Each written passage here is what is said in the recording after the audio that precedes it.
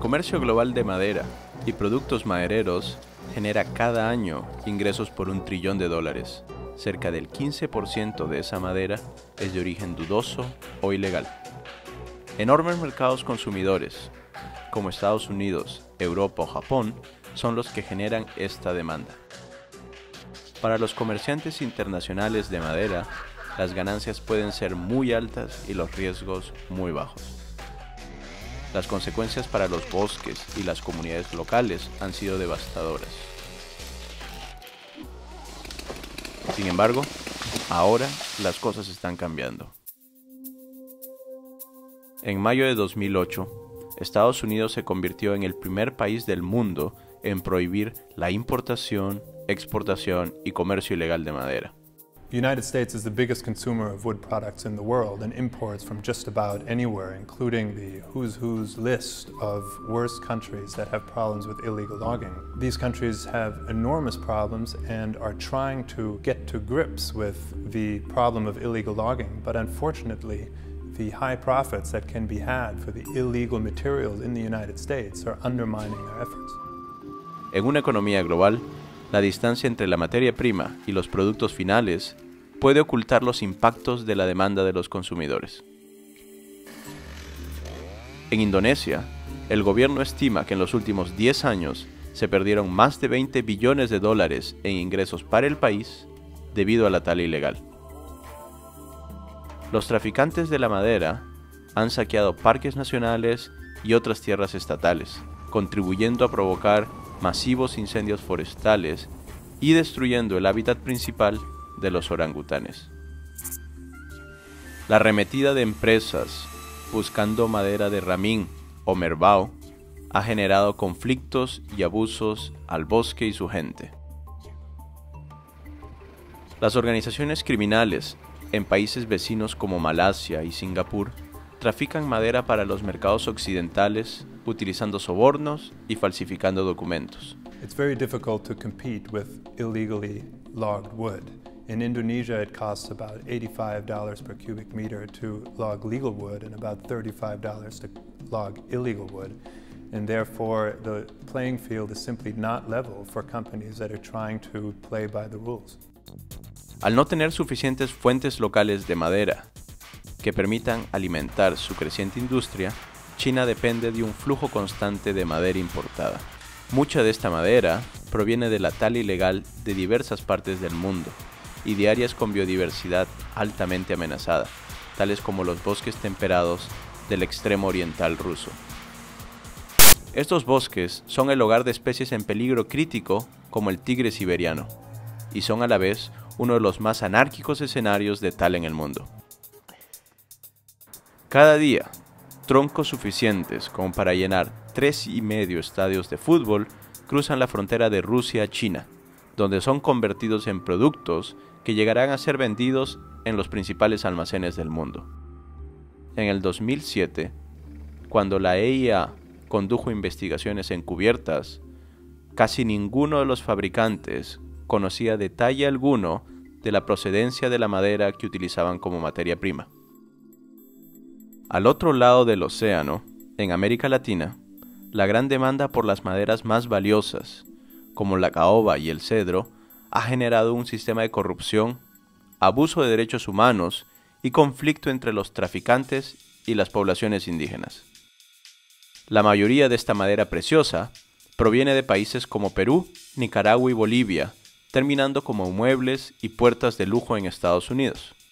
Mientras tanto, en Honduras, grupos campesinos batallan contra poderosos traficantes de la madera para detener la tala ilegal de pino en sus tierras.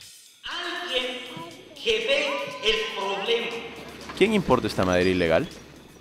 Estados Unidos, que importa prácticamente el 40% de la madera de Honduras.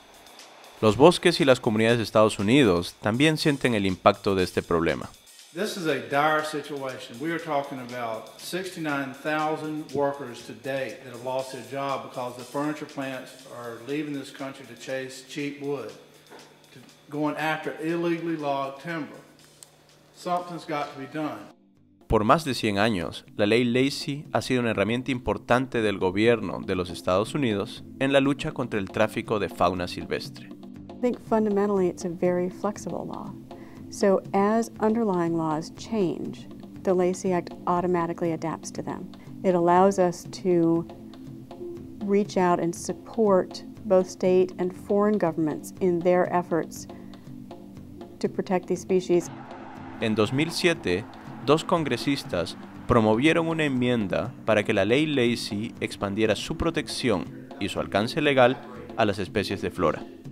Con este cambio relativamente simple, la ley Lacey se convirtió en una herramienta poderosa de control para impedir la importación, exportación y el comercio ilegal de madera en Estados Unidos. Una amplia coalición de la industria maderera, grupos de trabajadores y organizaciones ambientalistas apoyaron este histórico cambio a la ley.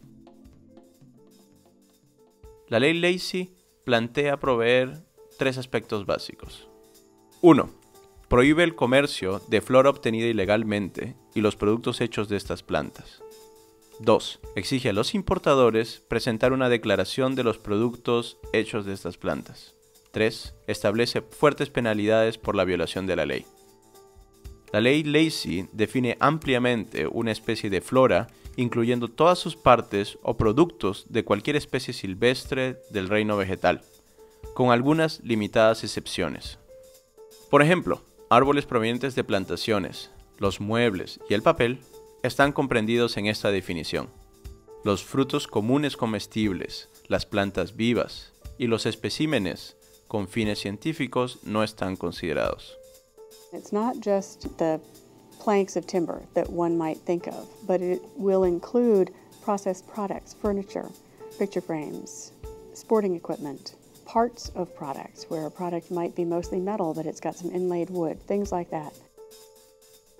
Una planta de origen ilegal es aquella que ha sido cosechada o transportada en violación de una ley relevante en cualquier país extranjero o en Estados Unidos. Esto incluye leyes que regulan parques y áreas oficialmente protegidas, permisos anuales de extracción, impuestos o limitaciones de exportación.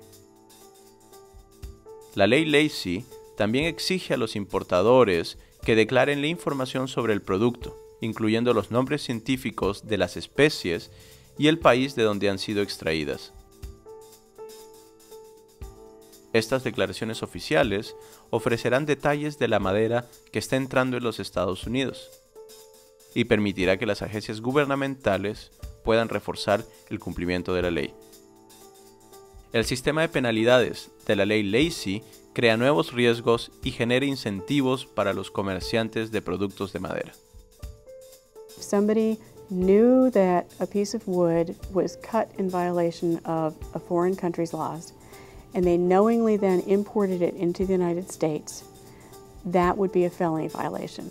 The least consequence for a Lacey Act violation would be a forfeiture of the product alone with no repercussions for the individual or the corporation involved in the import.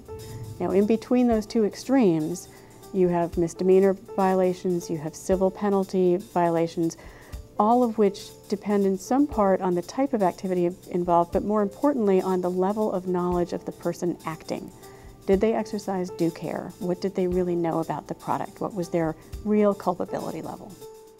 La ley Lacey no requiere ningún tipo de documento que pruebe conformidad legal.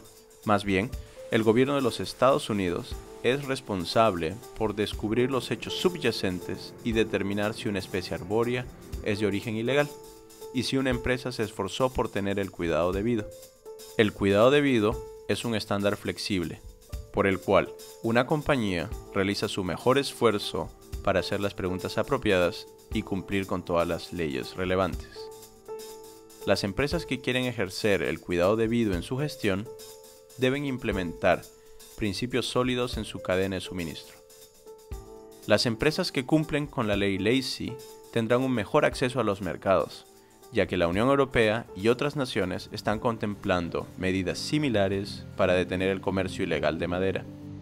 Anyone involved in manufacturing at this juncture should be asking questions of their suppliers, and if at all possible, asking for actual proof, actual evidence that the product they are purchasing, that they're spending good money for, was legally sourced. Somebody asked me to smuggle.